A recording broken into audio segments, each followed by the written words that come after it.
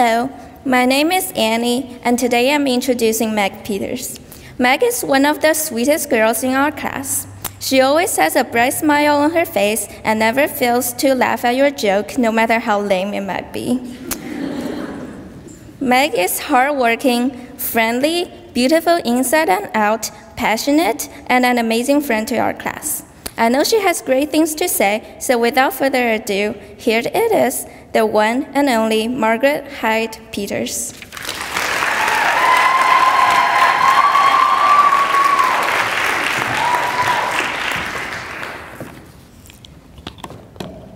The art of forgiveness is hard to master.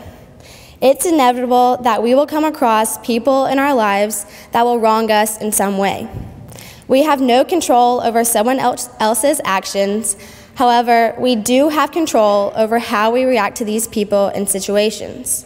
What I have realized is that refusing to forgive essentially gets you nowhere. Holding a grudge does not keep you from compromising your integrity or who you are. It just stops you from furthering relationships and trying to get past what was said or what was done. We need forgiveness, which in turn means that we need to be willing to forgive. In the Lord's Prayer, there is a line that states, And forgive our trespasses as we forgive those who trespass against us.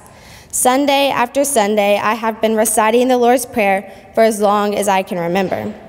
But the thing about repetition is we often forget what, that there is reason behind what we are doing or saying. I think we do this all the time. We just go through our day's routine forgetting the meaning behind it all. When I recited that prayer, I would just be unconsciously saying words, words that I never even stopped to think what they mean. Yes, I understood that God was full of grace and love, but I never fully grasped the full idea. But then someone shone a light over my confusion. We are asking God to forgive us in the same way that we should be forgiving those around us. This means that the person you are least willing to forgive is equal to the amount that you are asking God to forgive you. The inability to forgive someone is often a result of jumping to conclusions or holding on to tired grudges. However, we don't always know his or her full story. I believe that people are inherently good and the world is virtually a friendly place. I'm quick to look for the good in people because I believe that first and foremost, people strive to be good, to please others, to please ourselves. I believe that what you get out of the world is what you put into it. So if you choose to be friendly, if you choose to forgive, the world will mirror what you reflect onto it. I was the girl in the lower school knitwoods club that had hand cramps after knitting because I tried to make each stitch perfect. I was the girl in middle school that went through a phase of crimping her hair every single day because I couldn't stand waking up with my hair without my hair completely straight. I'm still the girl in high school that will erase and rewrite a single letter again and again until I believe it looks perfect. Call it OCD or call it whatever you want, but I used it, used it as an excuse for why I tried to perfect anything and everything.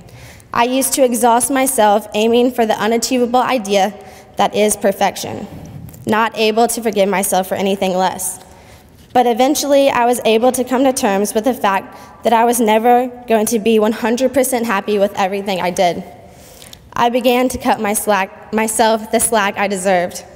I finally came to the terms, came to terms with not always being able to reach the high bar I set for myself. I learned to forgive myself for my imperfections.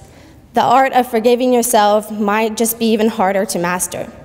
But I think it's partially due to the fact that we are a lot harder on ourselves than we deserve. We are too critical of our mistakes, never giving ourselves enough credit. The endless criticism of our mistakes stems directly from the lack of belief that we are enough. In fifth grade, my friend Virginia taught me a little something about forgiveness. She was supposed to be the new girl in town, but yet she acted like she had been here forever. Not only did she stand taller than I, but she also stood with a confidence that shy fifth grade Meg longed to find in herself. We all heard her big mouth down the hall, but not everyone got to know her even bigger heart. She disrupted the little bubble that I had grown all too comfortable living in, and I'm glad she did. She waltzed into 60, per- 60 Perkins Extended with no intentions of changing anyone's life, but she undeniably made a mark on mine. She helped me write a portion of my story that would have been a little different without her. God is funny like that. He places people in our lives that we may not always understand the reasoning for. But I'm glad I can see now why He chose to put Virginia in mine. She came into my life and taught me not to take life too seriously all the time. She taught me how to care just enough. She taught me that we need to all offer ourselves grace just as we wish others would, because the world goes on, and everything that might seem life shattering now will eventually fade with time until we see it as just another bump in the road. We spend too many of our days weighing down ourselves with stress and worry, but we can't be so hard on ourselves about things we can't do anything about. Learn to not set the impossible expectation of perfection for yourself and try not to presume perfection from others either. Allow yourself a little room to make mistakes and trust that someone will be there to offer forgiveness.